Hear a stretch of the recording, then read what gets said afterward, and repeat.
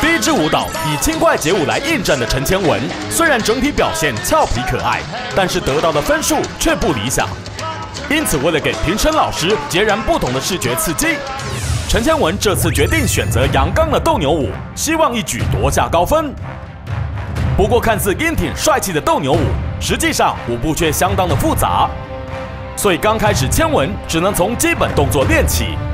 整堂课下来，千文的感想只有六个字。怎么这么难？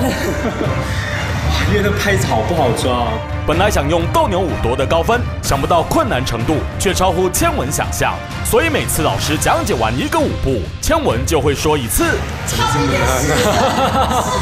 经过不断的苦练之后，千文的斗牛舞似乎有了一些进展。但是正在拍摄八点档嫁妆的他，常常刚结束拍戏就赶来练习，因此时间与体力却显得不太够用。